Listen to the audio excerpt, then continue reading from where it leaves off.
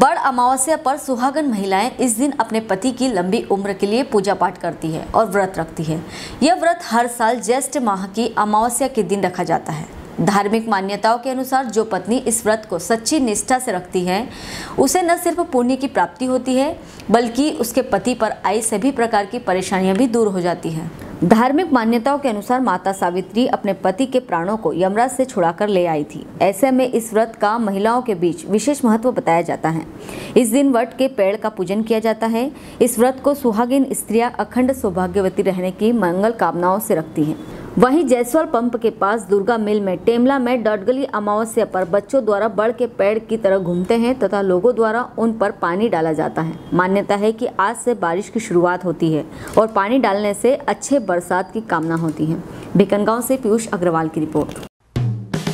Hello friends आप देख रहे हैं हमारा चैनल एस न्यूज़ हमारे सारे वीडियो सबसे पहले देखने के लिए आप हमारे चैनल को सब्सक्राइब करें और पास में लगे बेल आइकन को दबाना बिल्कुल भी ना भूलें।